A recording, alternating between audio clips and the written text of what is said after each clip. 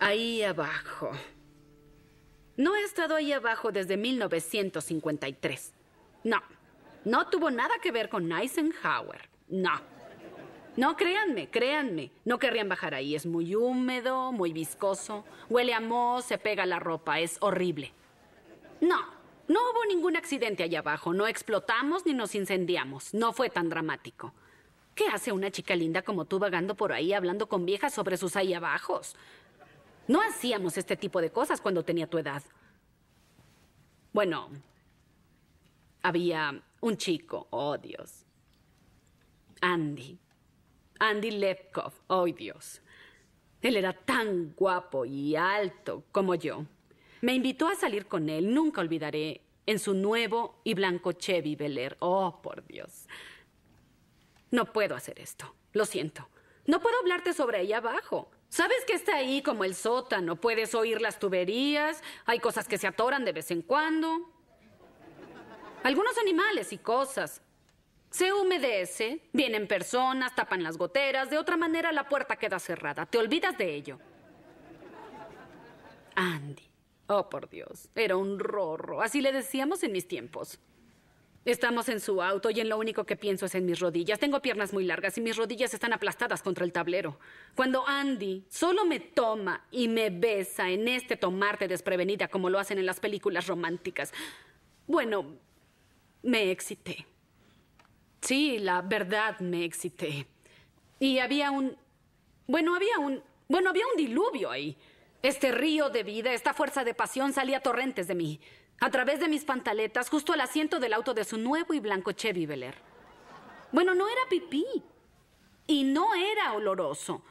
Bueno, él dijo, Andy dijo, dijo que olía como leche ácida y que estaba ensuciando el asiento. Yo era una olorosa y rara chica, él dijo. Traté de explicarle que su beso me tomó desprevenida y que yo no era normalmente así. Traté de limpiar el diluvio con mi vestido. Era un vestido nuevo, color crema, y se veía horrible con el diluvio en él. Andy me llevó a casa. Él nunca, nunca más me dirigió una sola palabra. Cuando bajé de su auto, les juro que cerré, sellé, tapié la tienda. Nunca he abierto el negocio de nuevo. Ah, sí, solía tener unos sueños, pero son unos sueños locos, sueños estúpidos. ¿Por qué? Burt Reynolds. No sé por qué. El tipo nunca hizo nada por mí en la vida, pero siempre en mis sueños éramos Bert y yo, Bert y yo, Bert y yo. Salimos a cenar a uno de esos restaurantes del tipo que ves en Atlantic City, enormes candiles, miles de meseros con sus chalecos. Bert estaba ahí. Me daba un corsage de orquídea. Me lo ponía en el blazer. Nos reíamos. Siempre estábamos riéndonos Bert y yo. Risa y risa. Un cóctel de camarones, fabulosos camarones, enormes. Entonces Bert se inclinaba hacia mí y justo cuando él estaba por besarme, el restaurante completo comenzaba a temblar. Palomas volaban de debajo de las mesas. No sé qué estaban haciendo ahí las palomas. Y el diluvio venía directo de allá abajo. Este se derramaba desde ahí, se derramaba y derramaba. Había botes ahí mismo y pequeños peces. Y el restaurante entero se inundaba con mi diluvio. Y ahí estaba Bert de pie, metido hasta la cintura en él, viendo horrorizado, horriblemente desilusionado que lo hubiera hecho de nuevo. Y mientras veía a sus amigos, Dean Martin y demás, nadando entre nosotros con sus smokings y trajes de noche. Ya no tengo esos sueños jamás. No. No desde que sacaron todo lo que estaba conectado con lo de abajo. Sacaron las trompas, el útero, todo el asunto. Mi doctor cree que es un gran comediante. Me dice, si no gozas, lo trozas. Pero en verdad era cáncer. Tenía que sacar todo. Altamente escandaloso de todos modos. Hago otras cosas. Amo las exhibiciones de perros. Vendo antigüedades. Disculpa. ¿De nuevo? ¿Qué le pondría? ¿Qué tipo de pregunta es esa que le pondría? Le pondría un letrero cerrado debido al diluvio. ¿Qué diría? Te dije que no es una cosa que habla, es una parte, una parte a donde no vas. Clausurado, bajo la casa, ahí abajo. ¿Estás contenta? Hiciste que una anciana hablara sobre esto. ¿Te sientes mejor? De hecho, te diré la verdad. Tú eres la primerísima persona con la que hablo sobre cualquiera de estas cosas. Me siento un poco mejor.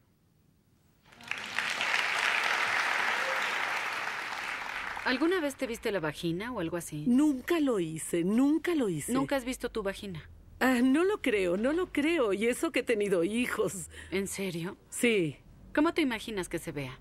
Ah, bueno, creo que la he visto en el consultorio del doctor cuando estoy en los estribos y hay un espejo. Estoy segura que la he visto con el paso de los años. Pasó que miré hacia abajo y ahí estaba esa horrible cosa que me regresaba la mirada. Ay, por Dios. ¿Hiciste bien el amor hoy? Sí. Dijiste bien, no dijiste qué tan seguido. ¿Hay algo específico que desees? Bueno, ahora mismo tal vez sexo. Porque ha pasado mucho tiempo. Tal vez ha llegado a ser solo deseo.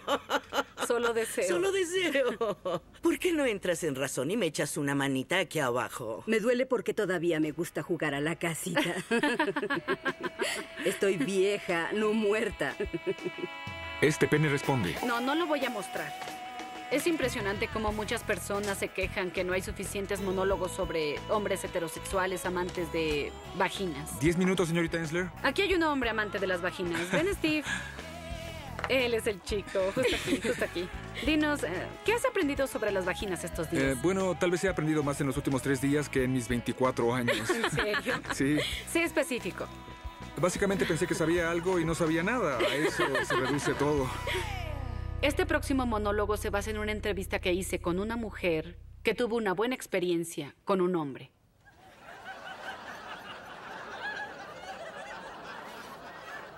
Porque le gustaba verla. Esto es como llegué a amar a mi vagina. Es embarazoso porque no es políticamente correcto. Mira, yo sé cómo debía haber pasado. En un baño con granos de sal del mar muerto, con música de Enya, mi persona amando a mi ser femenino. Conozco la historia. Las vaginas son preciosas. Nuestro autodesprecio es solo la represión interna y el odio de la cultura patriarcal. No es real. Meninos, únanse. Me las sé todas. Es como si hubiéramos crecido en una cultura que nos dijera que los muslos gordos son hermosos. Todas estaríamos atragantándonos de malteadas y donas, pasando nuestros días recostadas como vacas, engordando el muslo. Pero no crecimos en esa cultura, ¿verdad? No. Yo odiaba mis muslos y odiaba a mi vagina aún más. Pensé que era increíblemente fea. Era una de esas mujeres que la habían visto y desde ese momento en adelante deseé olvidarla. Me dio asco. Me compadecía del que tenía que bajarse. Para sobrevivir tuve que pretender que había algo más entre mis piernas. Me imaginaba muebles. Cómodos futones con cobertores delgados de algodón, pequeños canapés de terciopelo, o bellas cosas, pañuelos de seda, carpetas para macetas. Habiéndome acostumbrado a esto, ya no tenía el recuerdo de tener una vagina. Cuando un hombre estaba dentro de mí, me imaginaba que estaba dentro de un mofle cubierto de mink o de un jarrón chino. Entonces conocí a Bob. Bob era el hombre más ordinario que hubiera conocido. Delgado, alto, indefinido, usaba ropa color khaki. A Bob no le gustaba la comida con especias ni escuchaba Prodigy. No tenía interés en la lencería sexy. En el verano pasaba horas en la sombra. No compartía sus sentimientos internos, no tenía problemas ni nada, ni siquiera era un alcohólico. No era muy gracioso, ni articulado, ni misterioso. No era grosero o inaccesible.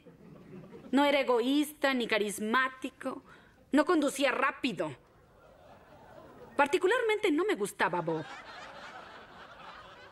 Ni siquiera lo hubiera notado si no hubiera recogido el cambio que tiré en el piso del café. Cuando él me entregó mis billetes y centavos y su mano accidentalmente tocó la mía, algo pasó. Me fui a la cama con él. Ahí es cuando el milagro ocurrió. Resultó que Bob amaba las vaginas. Era un conocido. Amaba cómo sabían, cómo olían, cómo se sentían, pero lo más importante, Bob amaba cómo se veían. Tenía que verlas. La primera vez que hicimos el amor me dijo que tenía que verme. Estoy aquí, Bob. No, dijo, a ti. Necesito verte a ti. Prende la luz, le dije, pensando que era un loco que estaba enloqueciendo en la oscuridad. Encendió la luz y dijo, bueno, estoy listo. Estoy listo para verte. aquí estoy, Bob. Justo aquí. Empezó a desvestirme. ¿Qué estás haciendo, Bob? Necesito ver cómo eres. Pero ya has visto un sofá rojo de piel antes, Bob. Sé que lo has visto. Y Bob continuaba. No pararía. Yo quería vomitar y morir. Esto es demasiado íntimo, Bob. ¿No puedes solo hacerlo?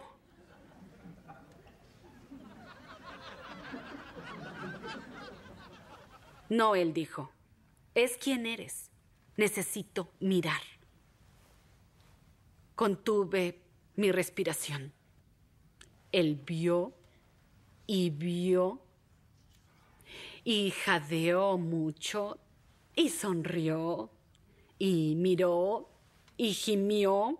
Comenzó a respirar, y su cara cambió. Ya no se veía ordinario para nada, se veía como una bestia hambrienta. Eres tan bella, dijo. Eres elegante y profunda e inocente y salvaje. ¿Viste eso ahí? Le dije. Era como si hubiera leído mi palma. Yo vi eso, él dijo, y mucho, mucho más. Bob se quedó mirando por más de una hora, como si estudiara un mapa, mirando a la luna, mirándome a los ojos, pero era mi vagina. Con la luz yo lo veía mirándome. Él estaba tan excitado, tan en paz y eufórico, que comencé a mojarme, me excité. Comencé a verme de la manera que él me veía. Comencé a sentirme bellísima y deliciosa como una gran pintura o una cascada. Bob no tenía miedo, no, él no estaba siendo vulgar. Comencé a gozar. Comencé a sentirme orgullosa. Empecé a amar mi vagina. Y Bob enloqueció ahí. Y yo estaba ahí con él, en mi vagina. Y perdimos la razón.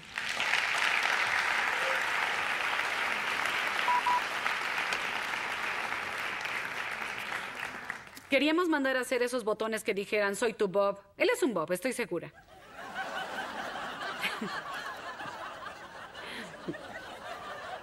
Es parte de un entrenamiento en la universidad.